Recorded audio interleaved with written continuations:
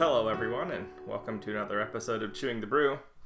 This evening, I will be enjoying. I will enjoy it, darn it! The uh, Sam Adams Winter Lager. Festive and smooth. I've had a few lagers recently, I think. Um, ale versus lager. Lager is the more historic, like the older style of beer. Ale is a more recent development and required some some development in brewing technology and science. Um, lagers tend to be tend to be simpler beers and like like flavor wise and and so forth. Um, and ales are generally more popular in the craft community, though that is changing recently. I believe Sam Adams Winter Lager, their, their winter beer has always been a lager, so that's kind of interesting now that I'm becoming more aware of the difference. Um, just the, the word lager is standing out to me more, and that's cool. They say no matter what or how you celebrate, this spiced holiday lager's rich malt notes, and then it talks about tasty things. So it's meant for everybody, for all time. Um, you know, what's a, what's a winter beer versus a holiday beer? Every artisan of the craft and every enjoyer of the craft will probably have their own uh, ideas as to what is what and which is which and why they are. Um, I generally expect a winter beer and a holiday beer, maybe a holiday beer to be a, a subset of the winter beers, maybe focusing more on spiced flavors. Um, you know traditional holiday spices, your cinnamon, nutmeg, cloves, allspice, um, maybe with uh, you know more more chocolate, or if you're going to do a an adjunct peppermint, you know chocolate peppermint kind of kind of beer or something like that, and focusing on maybe an overall flavor profile that corresponds to a traditional some other iconic holiday element. So gingerbread or um, Christmas trees. since we're being iconic holiday things. That, that's what I would think of as a holiday beer versus a winter beer is simply going to be a heavier but not necessarily bigger beer. Um, so your darker styles, your porters, your stouts, um, your ambers, your brown ales, your Belgian doubles and triples and stuff like that, or quads if you're crazy, um, and and the like bigger beers uh, that are I mean, historically, your body needs more energy to stay warm over the winter, and some of that warmth is just in your brain. And alcohol does make you feel warm by driving the blood to your extremities, I think it is. So you feel warmer. But I don't know. Um, anyways, that's my own ideas, just kind of random off the top of my head of what might comprise a winter versus a holiday beer. This is a winter lager, but it does say it's festive. So, and the ingredient or the, the flavor profile does indicate that they're kind of going more for holiday, iconic holiday flavors. And we'll judge them on that. So, let's see here. Oh, pours, pours a, like golden honey, like uh, dark, dark honey. Uh, very clear, very filtered. Um, head is thin but present. It's there. Eh, it comes back. That's a decent amount of head. Some rockiness. I can smell the lager. Um, I found lagers to be perhaps perhaps a little muddy, not not as in like mud, but muddied in their smell.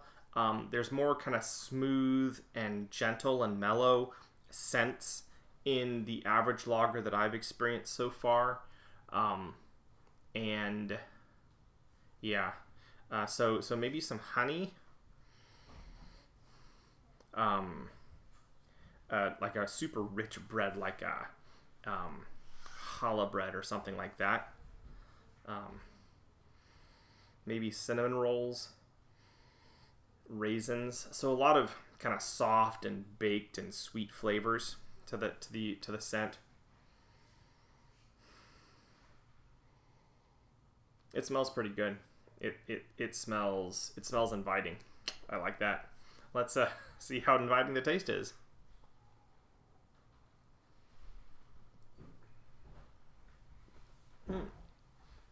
Okay. A couple different flavors going on there. Um, uh, the barest touch of a molasses, but then it comes to honey, so more maybe maybe like a, a stronger honey, like a, a, buckwheat honey or something like that.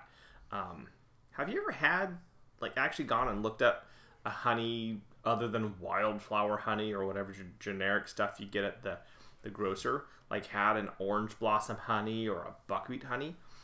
Honey really takes on the flavors of the thing it's created from. And wildflower honey, and as I understand it, uh, legally to be orange blossom honey, like it has to come mostly from hives that are mostly surrounded by orange trees or something like that. And so there's going to there's going to be some mixing in there. There's always going to be a little bit of dandelion in your honey.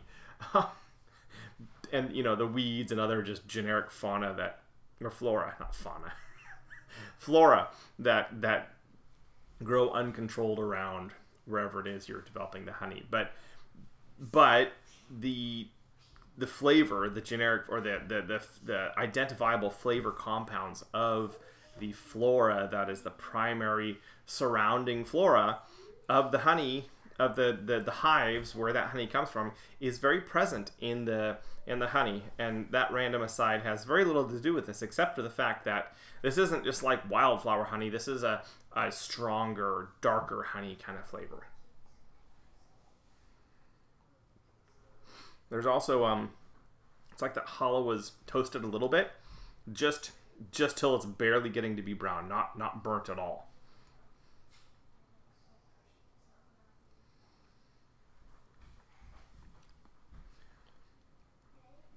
there's almost a an apple cider, like an unfiltered apple juice kind of quality to that.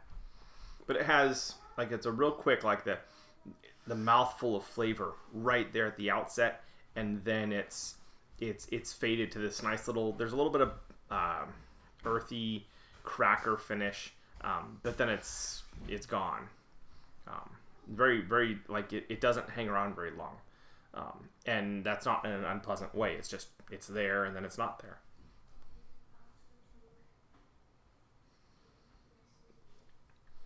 That's tasty. I like that. That's an enjoyable, pleasant beer. It's not demanding too much. If I were having a casual get together of friends in which I wasn't planning on, you know, expounding the virtues or extolling the virtues of a particular beer, which is none of my parties. Let's be honest. I mean, of all the parties I hold, I throw, yeah, I'm the real party hound. Of all the parties I throw, I'm not yeah, I'm going to be talking about beer. Sorry, I'm a bit of a nerd in case you hadn't gotten it.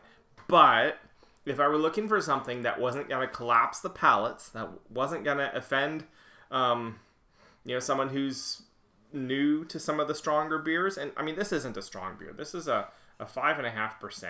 It's 22 IBUs. So maybe someone who isn't as familiar with the, the Belgian triples and stuff like that, or, or, um, other more bombastic, over the top holiday beers. Uh, this would be a really nice introductory beer for them. Uh, it has it. It's still recognizably very beer like. It has a nice lager body that that is a good foundation to build on. It's well crafted. The flavors are there, and it's pleasant and it's enjoyable. But it's not like demanding you're gonna pay attention to me because I'm beer. It's just beer. It's good beer. It's beer you want to drink. It's beer you want to enjoy. Maybe not beer you're going to savor. You know? That kind of beer. Which is exactly what it wants to be. It's Sam Adams. I mean, the only Sam Adams that you're going to be, you know, sipping in neat little sips to savor over and over again. And this is not a put down on Sam Adams, but I mean, there's their utopias, and then there's everything else.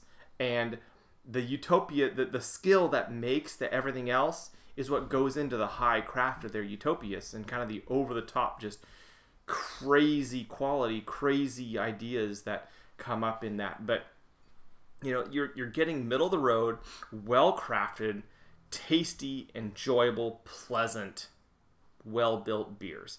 And this is one of those. It's exactly what it wants to be and it's that very well. I like that. That's a good thing. This is sam adams winter lager I'm Matthew. I've been chewing the brew. I'll catch y'all on the flip side.